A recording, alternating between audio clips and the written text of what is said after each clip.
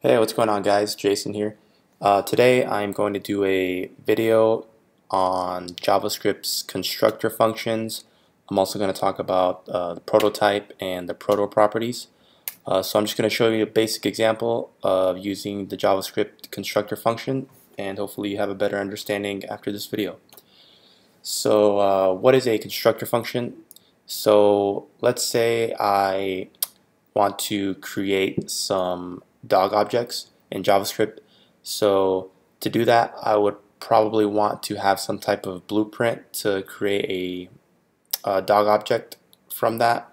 So for example, uh, I'm going to create a function called dog, and I already have it here. Oops, let me remove this. So basically I have this uh, dog function, and this function is what I'm going to use to create all my uh, dog objects essentially. So what does this dog function take in? It takes in a name and a breed and then it's basically uh, my new dog object is basically going to have these two properties which is name and breed and so uh, another thing I want my dog to have is some methods or some well, how should I say it functionality. And so let's say I want my dog to bark. So instead of putting a method in this function here, what I would do is I would actually uh, take this dog uh, function. And also another uh, thing to note is uh, functions in JavaScript are also um, they're also objects. So if you look here I'm going to do dog and on this dog function, there's actually a property on it called prototype. So prototype and prototype is all it is is just a object um, on this uh, dog function or object essentially. And so whenever I create a dog, all these dogs from this dog constructor, then um, my dog object that I created from this dog constructor, constructor is going to have access to all the methods and uh, properties on this prototype object. And so on this prototype object is where I would create my bark method. So if I would do dog.prototype.bark, then I would set that equal to a function and all this function is going to do is it's going to console.log bark. Okay. Okay, so so far, um, just to go over what we have, all we have here is our dog function, or I should say our dog constructor function, because we're going to create all of our dogs from this dog constructor we have some properties on it which what which what our which is what our dog objects are going to have. So it's going to have a name property and a breed property. And also on this um, dog constructor function there's a prototype object on it where all of our um, dogs that we created are going to have uh, these methods are going to have access to all these methods on these on this prototype. So we're going to have basically a bark method, which will just console.log bark. Okay, so we've created our constructor function and we've added some methods to uh, the prototype object. So now what I'm going to do is I'm going to start actually uh, creating some dogs. So I'll just do a const, call this dog1. And important thing to note here, uh, I'm going to use a new uh, keyword here, which is actually called new dog. And so like I said before, dog is just a regular function just like any other function. Uh, the only thing here is we're actually going to use this function as a constructor. So whenever you're going to use a function as a constructor function, what you want to do is you want to uh, use the new keyword in front of that um, dog function when you invoke it. So that way JavaScript knows that you're using this function as a constructor to create other uh, objects from this constructor. Uh, hopefully that made sense. but so, okay, so we have our dog method, and from what we know here, we can pass in these two parameters. So we're going to pass in a name, and I'll give it a name of Max. And the breed, I'll just put in lab. and so, um, okay. So what's going on here now is when I invoke this constructor function dog using the new uh, keyword in front of it, uh, there is there's three things that's happening. So the first thing that's happening is uh, this constructor function dog is actually going to uh, create an object. So it's going to create an object and it's going to attach that object to uh, this. So the object that this constructor function creates is going to essentially become uh, this right here, this keyword.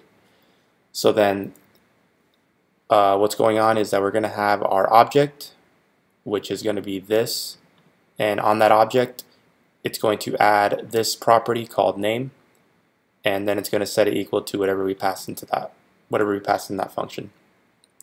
And on that object that this constructor function dog created, we're also adding another property called breed, and we're going to set that equal to what we passed in here for breed. And so that's the first thing that's happening. And the second thing is that um, on that object that this constructor function created, it's going to, we're going to add the prototype object or the prototype reference to it. Um, so uh, let me see here. Okay, so this object is actually going to have another property and it's just going to have it by default. So what this property is called, it's called proto underscore underscore proto underscore underscore. So uh, let's see, basically like that. So this object that this constructor function is created, uh, it's by default going to have this property called proto. And so what this proto property is going to reference is going to be the prototype of this dog function, which is right here, which is going to contain all the methods in this prototype object, which is going to contain our bark method. So that's the second thing that's happening. Um, and the third thing, the third thing that's happening is this constructor function is just going to return the object that we created, which was, yeah, which was this. So that's a lot to take in, but hopefully after I kind of show you the example, it'll start to make more sense.